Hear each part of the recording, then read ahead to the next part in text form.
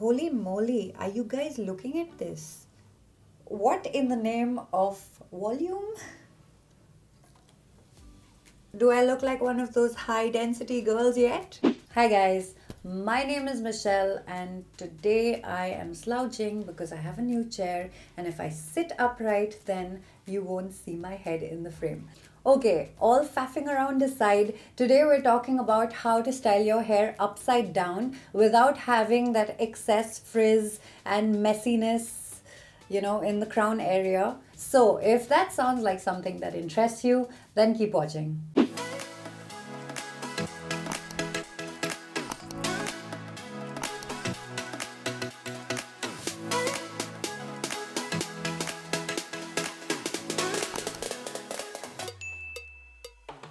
Today I'm using the Fix My Curls Leave-In Cream as my leave-in conditioner. For my styler, I'm using the Enliven Leave-In Mousse and then I'm going in with the Enliven Blue Gel. This is the first time I'm using the Fix My Curls Leave-In Cream. So I'm starting off with two pumps of the product and emulsifying. I'm raking it through my hair and as I rake, I'm lifting my hair off my roots so that no hair is sticking to my head. Lift the hair from the middle of your head, the sides, the back, the front. Keep doing that. I'm taking another 3 pumps of the leave-in cream and emulsifying it again.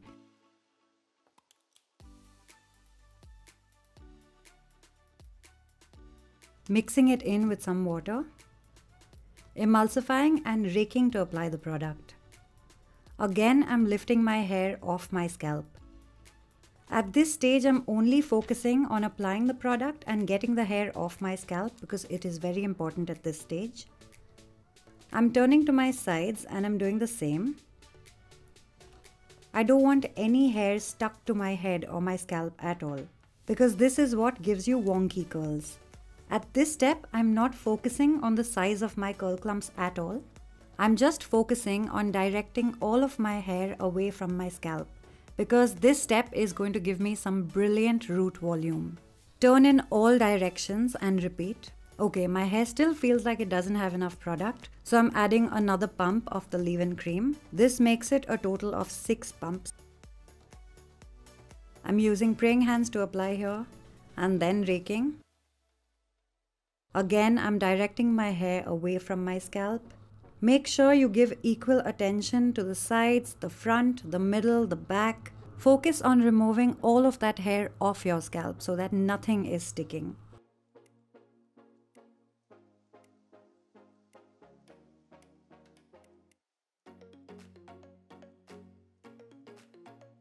Now it's finally time to form my curl clumps. And for that I'm going to need a lot of water. At this step, it is crucial that my hair is sopping wet. Really go in with that water. Now you can use your preferred brush or comb to form your curl clumps. The tool that you use at this step is going to determine the final output when it comes to your clump size.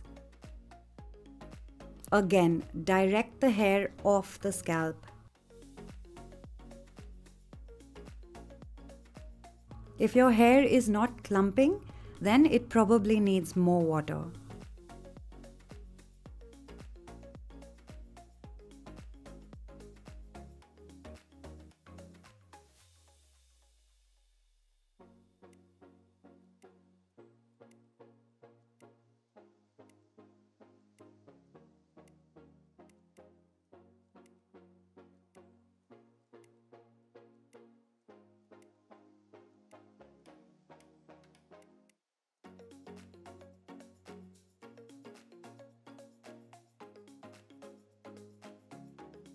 Okay, so now I'm going in with the leave-in mousse.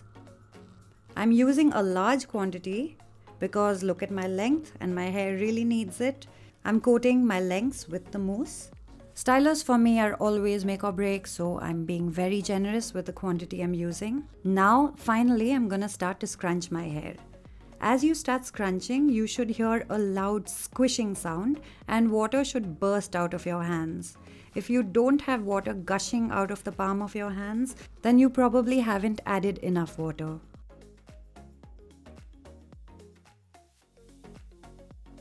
I'm turning to my sides and I'm giving my hair a bit of a shake to make sure that no clumps are stuck to my head. So shake your head a bit and release the hair from the scalp and then scrunch. Do this on each side, front, middle, and the back if possible if you don't get giddy. Scrunch right till the roots. If your main issue is that you don't get curls in the upper lengths of your hair, it's because you're not scrunching right till the root. And you're probably not scrunching in all directions or you're not spending enough time scrunching. So make sure you really take your time at this step.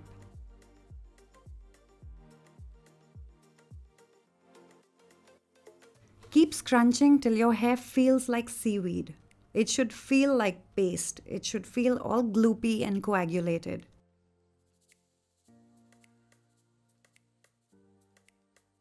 Every time you change directions, that means every time you turn to your sides or the front, make sure you give your head a little shake so that you're moving your hair off your scalp and directing it away from your head. Lastly, I'm going in with gel. So spread the gel on the palm of your hand and make sure you touch the lengths of your hair very gently with that gel. Be super duper gentle you don't want to ruin all of that hard work and the clumps that you've so carefully created. One last time, scrunch.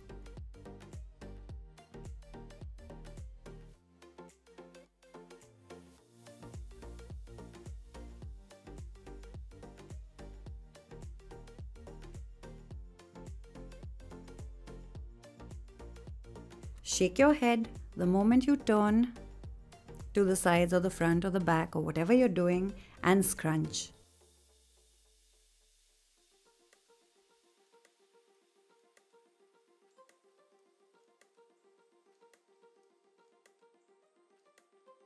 Make sure you're giving enough attention to the back, to the front, to the sides, to the middle. Don't forget the middle. Remember that this is where your crown is. If you don't focus on this area, then you're going to have a lot of frizz in your middle crown section.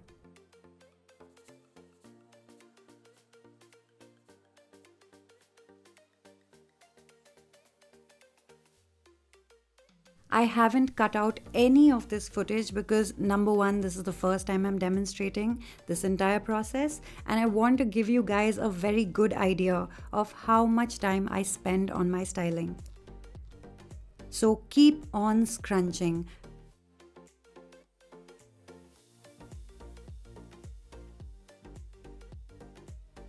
Keep scrunching till you're 100% satisfied with the curls that you formed. Make sure you really, really encourage them. Then, of course, I'm going to plop for 30 minutes and then I will air dry. You can diffuse.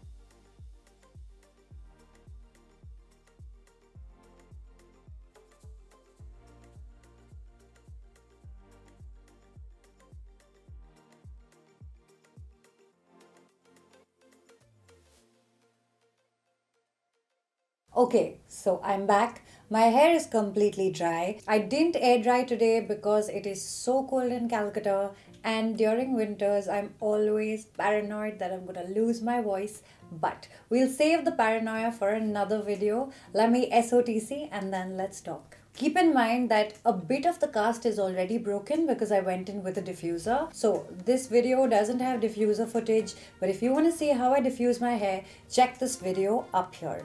Now, look, this doesn't look pretty, but one of the rules of CGM, I mean, it's like an unspoken rule, is that you never judge the cast, okay?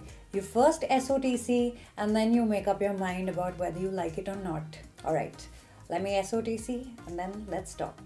Okay, so I'm back and these are my results. As you can see, there's quite a bit of root volume there's quite a bit of volume in general. Uh, so yeah, like I said, don't judge the cast. I don't know what's up with my lighting. I'm looking very white today, but I'll figure that out. Okay, so here you go, upside down styling. I like it. I like the results. The only thing that I don't like about upside down styling is my hair keeps falling to the front of my face. yeah. Okay. So some of you might really enjoy upside down styling. Now the way that I do it is I generally shake it out, right? You noticed when I was turning from side to side, I was sort of releasing my hair so that it didn't stick to my scalp. Mm I shook out the sides. So basically when I tilted from side to side, I basically uh, shook these parts out so that nothing was sticking to the sides of my head. In the same way, I released my hair from the back so that nothing was sticking to my crown and that enabled me to get all of this volume. Now, I should talk about what I use today, right? So for shampoo, I use the Wow Strengthening Shampoo. For detangling and conditioning, I use the Just Herbs Kumuda conditioner because oh my goodness, it melts my hair like butter okay i don't think i've experienced such a good conditioner before it is the best conditioner that i have used till date when it comes to detangling i keep that conditioner on my hair for like 2 3 minutes and my tangles they they just melt like butter so the Kumuda conditioner and the Exo curl comb together is a match made in heaven. I love it. I don't think it gets any better than that. When it comes to leave-in, I use the Fix My Curls leave-in conditioner. So this has protein in it. It's the first time i've used this so i can't tell you what i think about it. Alicia you asked me to check this out. So i've ordered the protein leave-in and the moisture leave-in and i guess i'm going to try both of them. And once i know what i feel about the products i'll make a review. So that's coming up. For now i don't know what i feel about it I did use quite a bit of this and yes my hair does look good but I would prefer to use this at least for a month before I give you my opinion on it. Or maybe I'll have to wash my hair really frequently because in a month I have four wash days. So if you want that review faster I'll probably have to wash my hair twice a week or something. So that I try the products quite a bit to give you an opinion. And also remember that I'll be trying two leave-ins so I would say I need eight washes at least eight washes so two months to make up my mind. Maybe I'll wash my hair like twice a week. I don't want to, but I will if I have to give you that review pretty quick. If you're not in a hurry, then uh, that's good for me. For hair mask, I use the Wow Coconut Hair Mask. So this mask also has a bit of protein in it. But if you look at the protein in the product, six, it is the sixth ingredient as long as it's not in the top five you can't really consider this to be like a protein protein product. But yeah it does have a bit of protein. I could be wrong. I'll have to do some research before i say anything conclusive about whether this is a moisture or a protein leave-in so yeah i deep conditioned with this for stylers. I use the enliven leave-in mousse. And then i went in with the enliven gel in the blue variant. So some of you might not like upright styling and so I thought let me just show you this technique. As you can see the frizz is not crazy. There's nothing crazy happening over here. It's all good apart from this little section that keeps falling hmm. down we don't all have to love the same technique which is why I thought I'll make this video. Hopefully you gained value from it and I was able to clear up some of your doubts when it comes to having frizz when you're upside down styling. So let me know if you enjoyed this video. If there's anything else that you want to see from this channel, let me know and I will give you that content.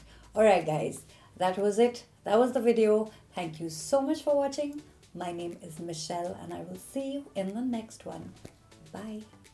Okay, so I thought it would be a good idea to keep fluffing and see what happens. And holy moly, are you guys looking at this? Are you guys checking this out? Just look at this. Maybe because of the background you can't really see. Look.